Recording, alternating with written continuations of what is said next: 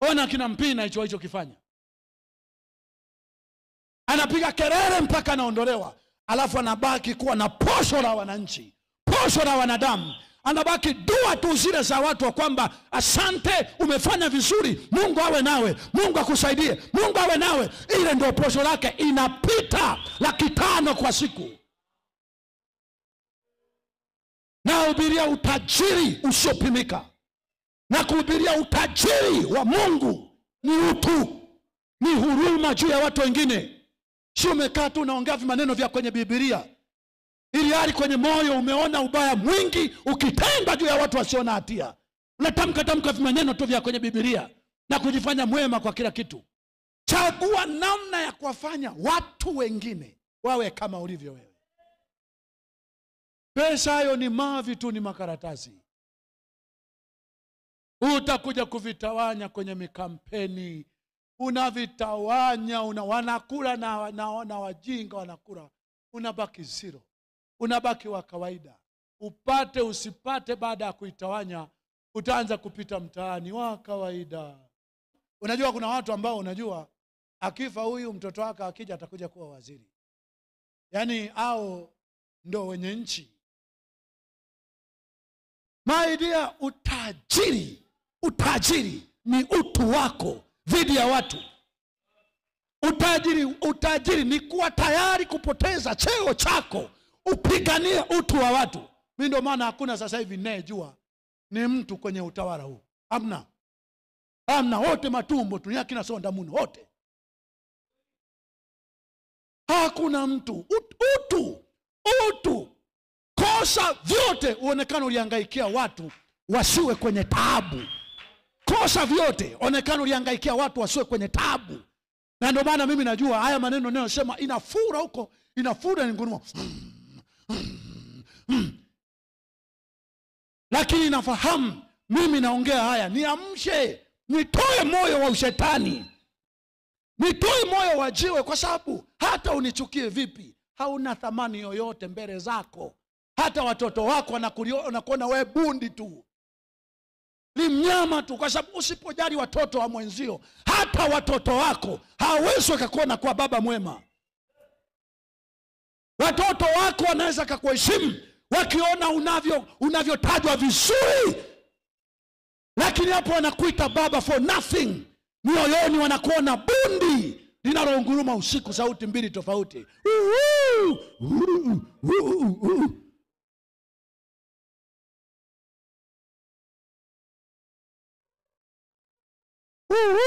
lingine huko. Ututu ututu ututu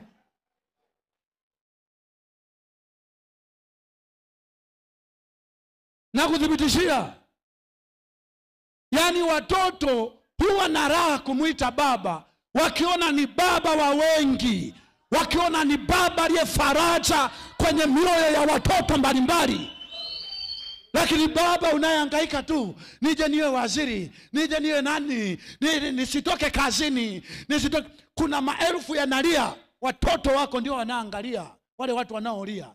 Wanajua nawe babu unahusika nawe mama unahusika. Wale watu wanalia wale unahusika. Unakuta watoto hawana raha ya kukuangalia. Wakiangalia tv mpaka unazima acheni hiyo tv acheni kuangalia hayo e, ah, njoni tuweke vitu vingine. Kwa sababu unaona watoto wanaangalia vile vitu. Na uwezi wewe uka, ukajua watakuelewa unaposema ila sio mimi. Si mnajua serikali? Si mnajua akina fulani? Si amna wewe uliyemo mle unahusika. Wenye akili hujiuzuru. Upiga kelele ikiwezekana wanaondolewa. Ona kina mpina hicho alichokifanya anapiga kelele mpaka anaondolewa. Alafu anabaki kuwa na posho la wananchi. Posho la wanadamu. Anabaki dua tu zile za watu wa kwamba asante umefanya vizuri. Mungu awe nawe. Mungu akusaidie. Mungu awe nawe. Ile ndio posho lake. Inapita laki tano kwa siku. Nahubiria utajiri usiopimika. Na kuhubiria utajiri wa mungu. Ni utu. Ni huruma juu ya watu wengine si umekaa tu unaongea vimaneno vya kwenye bibilia ili hali kwenye moyo umeona ubaya mwingi ukitenda juu ya watu wasiona hatia. Unatamka tamka vimaneno tu vya kwenye bibilia na kujifanya mwema kwa kila kitu.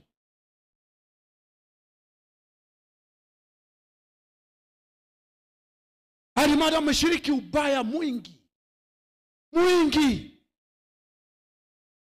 Nawafundisha utajiri wa kweli utajiri wa kweli sio utakuja kumiliki kiasi gani.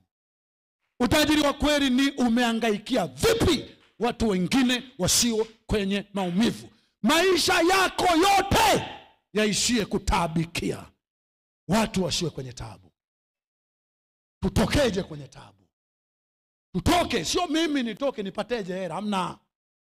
Sio mimi nipateje hela, hamna. Sio mimi nipateje gari hamna. Sisi sisi tutatokaje tuta- hapa? Kama ni maombi unaomba maombi sio yanaangalia wewe. Utapataje gari hela?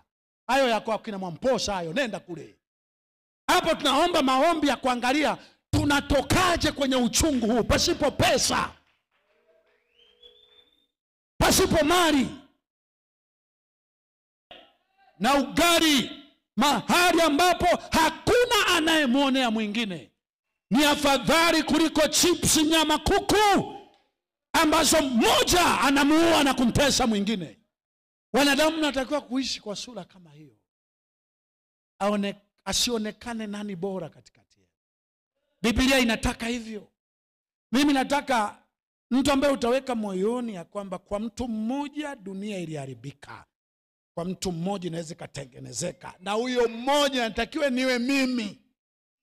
Ibada isinipe njia kanuni moyo nguvu. Huyo mmoja niwe mimi. Hata kama nakufa. Nife wakati watu wanajua nilitaka mwanadamu asiwepo anayeumia. Sio sio kwa jinsi nitakavyomwombea kiroho hapana watu wanaumizwa kwa mikakati ya kawaida ya wanadamu kwa mipango ya kawaida ya wanadamu. Kuwaokoa watu hao ni kumdhibiti mwenye makusudi ya kuumiza watu ni kumdhibiti mwenye makusudi ya kupora watu. Kwa neno la mungu na kama unapata mamlaka na amri kwa adhabu inayomstahili neno la mungu akikuwa kitu cha kuombea wanaokosea neno la mungu lilikuwa ni kitu cha kuambia wanaokosea au kuadhibu wanaokosea. Lazima ufike mahala uwe unakuwa katika maneno hayo. Unakuwa unasema inatakiwa niwe naongea mambo ambayo yatafanya anayefanya vibaya aogope. Na ndio maana nasema adumue kufanya mabaya mkemee mbele ya wote ili na wengine waogope. Sio mwombee ni mungu mpumbavu wa kihuni wa ulaya ambaye watu wanapoiba wanapoua wanapofanya mambo mabaya anasema tumwombee mungu mpumbavu malaya. Mungu mwehu wa ulaya huyo. Mungu kabisa anataka wewe kwa neno la mungu mtu anapofanya mambo mabaya mkemee mwambie. Inasema unayemwambia anayekosea ni sawa na kumtoa mtu kwenye mauti soma ibrania pale. Tano kumi na tisa. Soma hiyo. Mungu mwehu taira wa ulaya na marekani. Ndio ambayo umeleta kwenye vyuo vya bibilia mtu anafanya mambo mabaya unasema tumwombee hamwombei serikali mnasema sema tu sema tu anayekosea ama ametakiwa asemwe. Ili na wengine waogope. Soma hiyo. Ibrania tano kumi na tisa. No ibrania yakobo tano kumi na tisa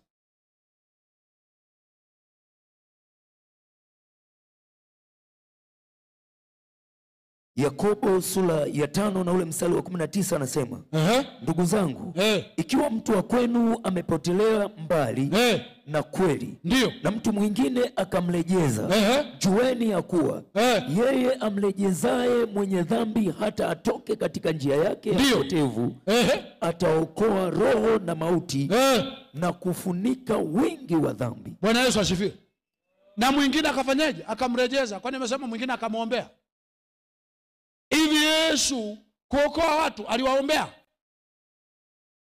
Eh? yesu kuwaokoa kina petro aliwaombea. Yesu kuokoa watu aliwaambia makosa yao. Petro anafanya jambo baya pale anasema bwana alitakupata yeye, anasema rudi nyuma shetani ukikwazo kwangu. Hey, nyoka wana wa majoka yesu aliwaambia isipokuwa nimekwambia tusi ni kile usiotaka kusikia kwa wakati huo kwa sababu ya jeuri ulio nayo. Yohana amewaambia wale watu yesu amewaambia wale watu shai kuona wamemuua kwa sababu maita joka wana majoka. Tusi inategemea ubaya wa roho ulio nalo